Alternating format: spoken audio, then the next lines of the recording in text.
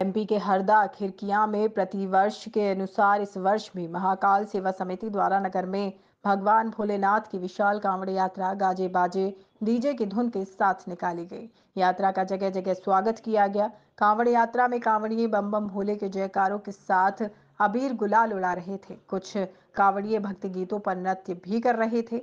यात्रा में लोग तिरंगा लेकर भी चल रहे थे। कांवड़ यात्रा को देखने के लिए बाज़ार में सड़क के दोनों ओर जगह जगह महिला, पुरुष व बच्चों की भीड़ लग गई। जगह जगह कांवड़ यात्रा पर पुष्प वर्षा की गई। कांवड़ यात्रा का तहसील के सामने माला समिति द्वारा लहारी खिचड़ी बांटी। पिंटू तिवार के द्वारा चिप्स का वितरण किया गया। पार्षद पति संजू यादव ने फल वितरित किए। महाकाल चैक में परमानंद बिश्नोई ने स्टॉल लगाकर कांवड़ियों को फल जनपान कराया।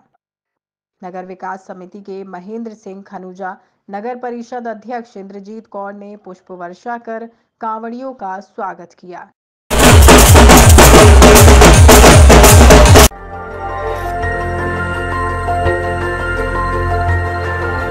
देखते रहिए डीबी भारती समाचार, नज़र हर खबर पर।